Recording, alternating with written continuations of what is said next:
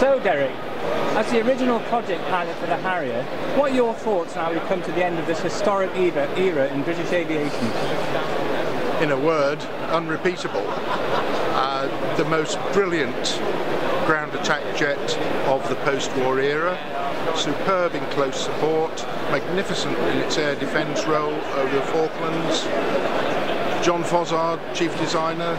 I didn't see him for 10 years after I left the Air Force, and in 1982 at the Farnborough Air Show, he was practically beside himself with excitement.